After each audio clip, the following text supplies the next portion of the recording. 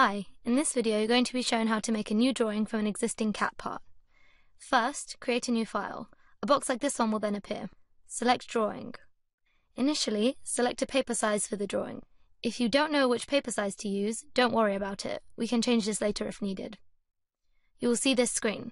Note how both the screen and the icons around the edges have changed from the part workbench. This is the drafting workbench. Right-click on Sheet 1 in the tree and select Properties. Then look for Projection Method and tick the third angle projection option. As you can see, the background of the drawing is still quite blank. We need to insert a background sheet. To do this, go to File, Page Setup, and click Insert Background View. Search for a drawing border you want to use. In this case, we're using the UCL A0 template. Click Open, Insert, and lastly, OK. As we have said before, it is important to be organized with your files. Always save the drawing with the same name as the part. You may see a grid on your screen, but clicking the grid icon can turn it off if you want to. Now the front view can be created. Choose this view wisely as it will affect the whole drawing. Select the front tool, then switch over to the 3D part. Here, the datum plane for the front view can be chosen.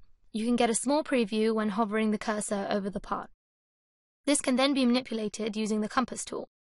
Once you are happy with the view, click anywhere on the screen. The view is created.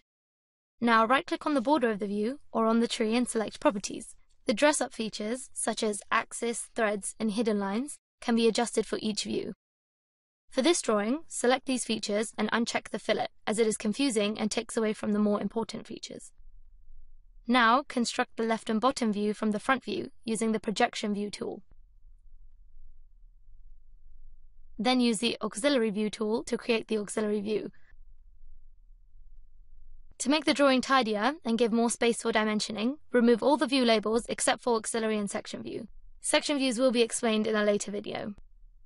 We'll stop there and continue in the next video. Bye for now.